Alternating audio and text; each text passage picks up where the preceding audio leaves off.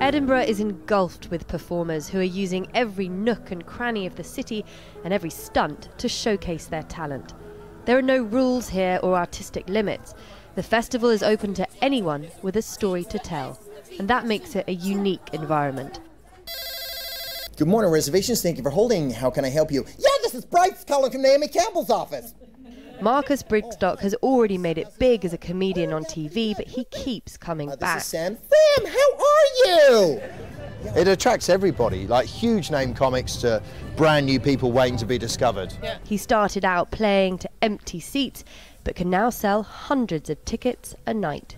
I was discovered here. I won the BBC New Comedian uh, Award in 96, met TV and radio producers, and then more importantly, Edinburgh is where I got good at what I do.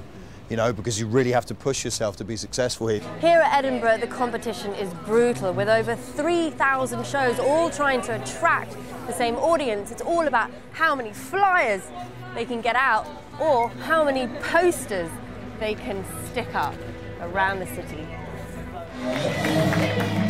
Hello! Amy Haverska is making her stand up debut at the festival in a tiny venue with a lukewarm crowd. My dad's catchphrase is You've not lived till you found yourself alone in a field of horses that are on fire.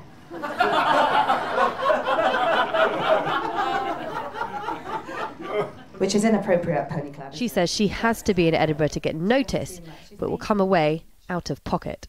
I will lose a few grand at the end, and I would have still had a good Edinburgh comparatively. It's crazy, isn't it? Everyone makes money apart from the artist.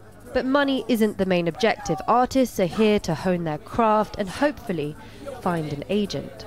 People who are performing here right now will end up touring internationally, will end up on television, will end up in films made by Hollywood producers. The next big thing could be found in a laundrette, a church, or even on a bus.